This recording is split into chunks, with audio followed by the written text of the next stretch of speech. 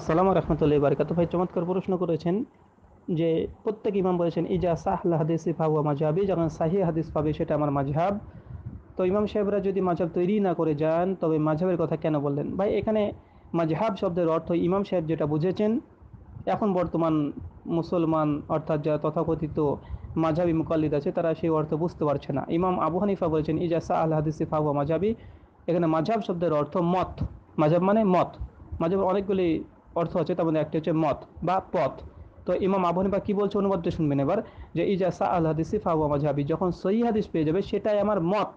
এখানে মাঝহাব বলতে যে মাঝহাবে আর অর্থাৎ চারটে মাঝহাব হানাফি মাঝহাব শাফি মাঝহাব হাম্বেলি, মালিকি, যে এদেরকে বানতে হবে, ইমাম আবু হানিফা এমনটি বলেনি বলছে, যখন সহি হাদিস পাবে সেটাই আমার মত।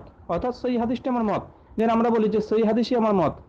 তার মানে এটা না যে আমরা যে একটা মাঝাব তৈরি করলাম এমনটি নয়। এই ধরনের প্রত্যেকটা ইমাম, প্রত্যেকজন ব্যক্তি শুধু চার ইমাম নয়, যতগুলো ইমাম শাফ, সুফিয়ান উনাইয়া থেকে শুরু করে আপনার সুফিয়ান সাউরি, ইব্রাহিম নাখাই, ইমাম শাহাবি, এই যে বিখ্যাত তাবেইনরা ছিল তারা বলে গেছেন এই কথা। পরবর্তী মহাদ্দেশ অনেকজন বলেছেন ইমাম দাউদ, ইমাম শোর ইমাম আউজাই, তারা এই একই কথা বলে গেছেন। যে হাদিস যখন পেয়ে যাবে, তখন আমাদের কথার কোনো মূল্য নেই। সহি হাদিসের উপর আমল করবে। তো ইমাম আবু হানিফা এখানে মাঝহাব তৈরি করে যাননি। তিনি বলছেন, যখন সেই হাদিস পাবে, সেটা আমার মত, সেটা আমার পথ। তোমরা সেটাকে গ্রহণ করে নাও। তার মানে মাঝহাব মানে আমরা এখন যে চারটে মাঝহাব আছে, এমন মাঝহাবের কথা তিনি বলেন না। শুধু সেটি স্পষ্ট হয়েছে যা গেল।